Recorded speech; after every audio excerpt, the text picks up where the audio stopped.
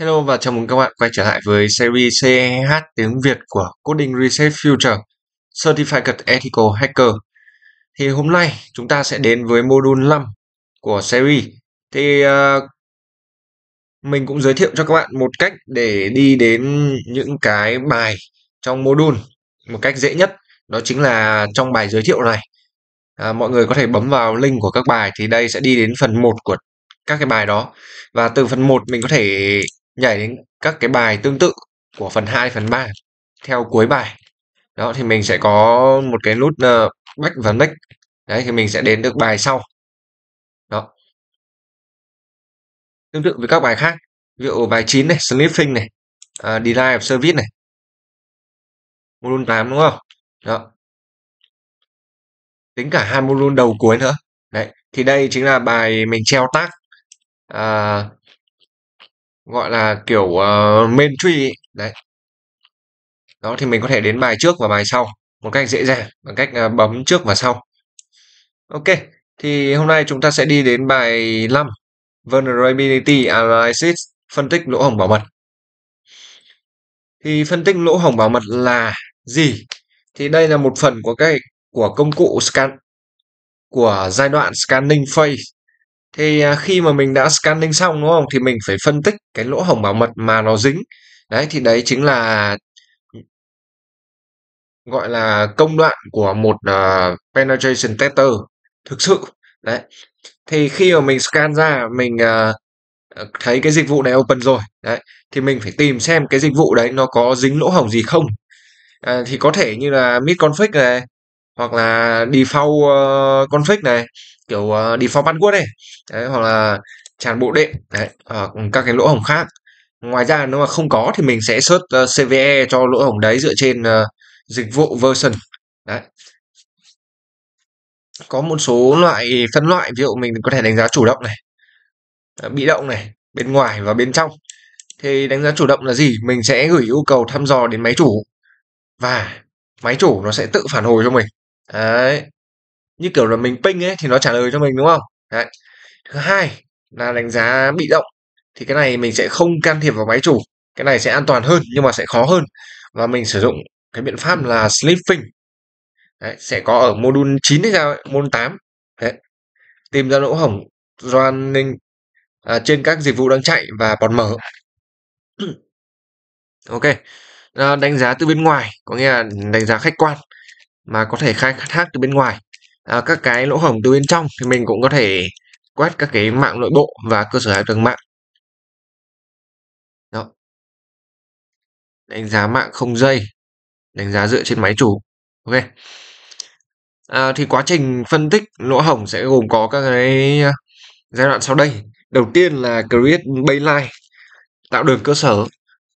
À, là cái giai đoạn mà pentester sẽ phải kiểu dạng là lên kế hoạch đấy bản chất của hệ thống ứng dụng dịch vụ nó như nào?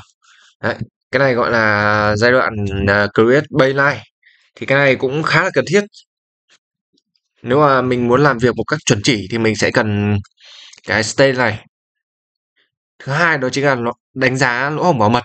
Thì có một số loại ví dụ như là physical security bảo mật vật lý hay là bảo mật uh, chính sách. Đấy policy đó. sau đó thì mình sẽ đánh giá rủi ro giảm thiểu rủi ro và xác thực quan sát lưu lượng mạng này và hành vi hệ thống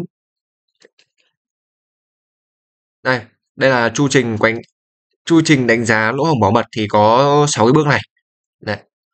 mình cũng có thể search cái uh, keyword này trên Google cũng sẽ ra những cái hình ảnh tương tự thôi ok giải pháp thì là gì à, tiếp cận đánh giá lỗ hổng bảo mật đa dạng.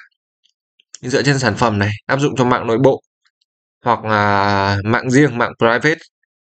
Giải pháp dựa trên dịch vụ bên trong hoặc bên ngoài. Đánh giá dạng cây và hiệu quả. Nó có nhiều cách đánh giá và chiến lược khác nhau nhé Đấy, chủ yếu thì uh, quét thường xuyên lỗ hổng này. Đó. À, có một cái là trong module 5 này thì mọi người phải clear luôn. Thì module 5 này nó là đánh giá lỗ hổng chứ không phải là góc nhìn của attacker attacker sẽ không đánh giá cái này mà đánh giá này sẽ dành cho pen tester penetration tester tức là ethical hacker ấy. Đấy, tức là hacker tốt thì mình sẽ đánh giá lỗ hổng bảo mật à, ờ, có thể hiểu là đứng dưới góc độ phòng thủ. Đấy hoặc là mình uh, tấn công để phòng thủ. Đấy có hai giai đoạn có hai hình thức đúng không? À, một đội red team và một đội blue team. Đấy. Thì à, nó là offensive à, attack và defensive attack. Đấy. Thì mình sẽ cần đánh giá cái này. Có đâu uh, kẻ xấu thì người ta sẽ uh, đánh giá qua thôi chứ nó sẽ họ sẽ không làm đầy đủ quy trình như thế này. Đó. Như kiểu là một người cần bảo vệ đúng không? Thì mình sẽ cần phải quy trình đầy đủ các thứ để báo cáo cho lãnh đạo chẳng hạn. Đó. Ok. Ờ, một số hệ thống đánh giá à, mà được thế nào nhỉ? Đa đại đa số uh, cộng đồng bảo mật. Công nhận một là CVE hai là CVSS ờ, ok. Thì CVSS nó sẽ có các cái điểm từ 0 đến 10 đấy thì cái này gọi là mình quên cái viết tắt rồi kiểu common uh, common vulnerability uh, score system hay sao ấy. Đấy. hệ thống đánh giá điểm uh, lỗ hổng phổ biến. Đấy, nó sẽ có những cái phân loại như này. Đấy, CVE thì uh, nó là của National Vulnerability D mình cũng không nhớ rõ. Đấy. À, cái này thì có thể vào CVE Mitri đấy thì search rất là dễ phổ biến thì cái này nó sẽ đánh đánh cái mã số cho những cái lỗ hổng ấy. Đấy kiểu dạng như vậy. Ví dụ mình uh, ghi là CVE MS 17010 đấy nó sẽ có những cái mã số. Thì đây là lỗ hổng uh, liên quan đến SMB của của Microsoft rất là phổ biến. Đấy ngoài ra thì rất là nhiều cái CVE à, 2024 này. Đấy liên quan đến uh, VMware SXI đấy. ok quét lỗ hổng bảo mật thì rất là nhiều công cụ. Công cụ có sẵn nhá.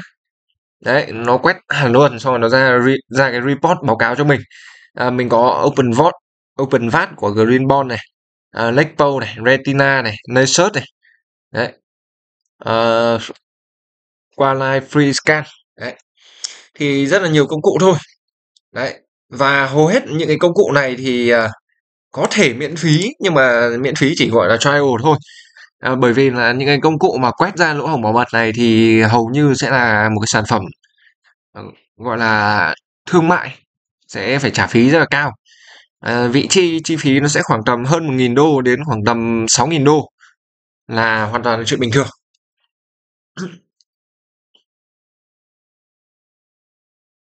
Ok trên điện thoại cũng có một số sản phẩm như này Đấy.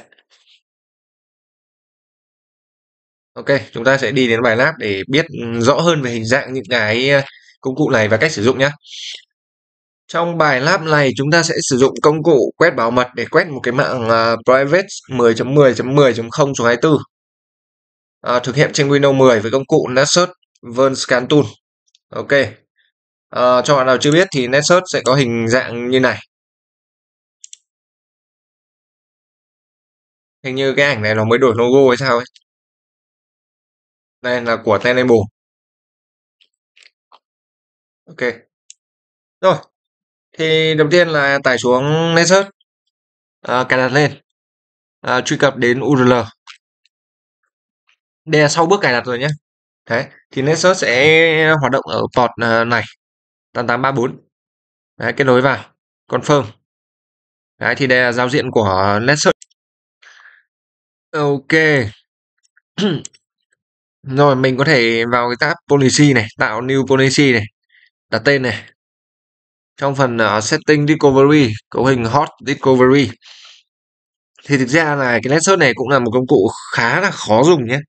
Khó dùng đấy à, và giao diện nó cũng không friendly lắm. Thực ra Nexus có cả trên Docker cơ mọi người cài một phát là xong. Đấy rất là nhanh. Nhưng mà giao diện nó cũng phức tạp nhiều thứ nhiều tính năng. Đấy. À, ngoài ra có nhiều công cụ khác như à, à, Akunetic này um, Green Bonds. Đấy. OpenVAT của Green Bond ok. Cấu hình uh, port scanning này. Đấy. thì cái này thường để scan uh, system. Đấy for scanning hot recovery service recovery. Vào report này chọn report này. Đến credential cài đặt uh, user password nếu có. Enable enable những cái plugin cần thiết. Này nó có nhiều cái plugin cho mình. À, cuối cùng là về my scan này tạo new scan. Đấy, rồi mình đặt tên. Đấy. Và đặt mục tiêu target. Đấy thì ờ, target này cũng có thể đặt domain nhưng mà thường cái này sẽ dùng để scan mạng nội bộ nhiều hơn kiểu dạng như vậy. À, lỗ hổng trong mạng nội bộ. Đấy. Nó tấn công ra ngoài thì nó hơi khó hơi khó hoạt động.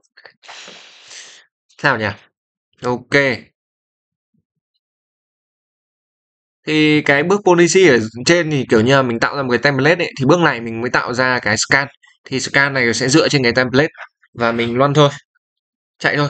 Đấy sau khi scan xong thì nó sẽ ra được ừ, những cái vulnerability mà nó đã find, đã tìm thấy. À, có thể là còn rất là nhiều các cái lỗ hổng khác nó không tìm thấy. Cái này thì tùy thuộc vào bộ DB nó update thôi. Đấy. Đấy ví dụ như này này. Đấy và nó sẽ có các cái report cho mình. Và có biện pháp uh, gọi là gì nhỉ? Biện pháp ừ, remediation. Biện pháp uh, phòng vá lỗi à, biện pháp khắc phục đấy ghi chú và lịch sử. Đấy, và các cái thông tin về cái ờ, uh, CV cái lỗ hổng đấy. Đấy và đến export tab này đấy thì nó sẽ xuất ra cái report cái báo cáo cho mình và uh, để cho mình uh, có thể uh, xử lý với các cái thành viên khác trong đội dev chẳng hạn hoặc là báo cáo với lãnh đạo. Đấy. ví dụ nó file ra lỗ hổng ms16047 này lỗ hổng liên quan đến sam và LDAP này Ờ, uh, http trace này attack uh, ờ, method um, ừ, trace hoặc check cho phép này. Ms14066 này. Remote code execute này. Đấy. Thì đấy là một số cái. Thì tất nhiên là có nhiều cái lỗ hổng ờ, ở mức low level info hoặc là medium thậm chí nó cũng rất là normal. Thì cái đấy không quan trọng lắm. Chủ yếu là lỗ hổng hai và critical thôi. Cũng cũng nào cũng thế nhá. Kể cả đây mọi người cũng có thể green Bond, open đấy nói chung là vern ờ, uh, vulnerability scanner. Đấy mọi người cứ tìm uh, cái công cụ kiểu dạng uh, này rất nhiều. Đó. Đấy đánh giá lỗ hổng bảo mật quét đánh giá lỗ hổng bảo mật. Ví dụ Akunetic này hàng đầu này.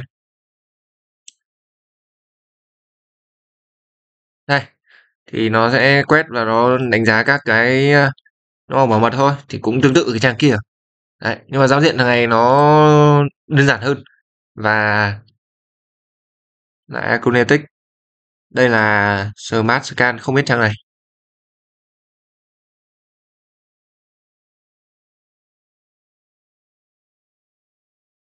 Splunk này ừm, Splunk thì chủ yếu là quét về ờ, à đây này. Đây mình có một số công cụ này. OpenVAT này Nmap này green bond này vân này. Đó. Sập lăng thì chủ yếu dành cho đội uh, Blue thôi.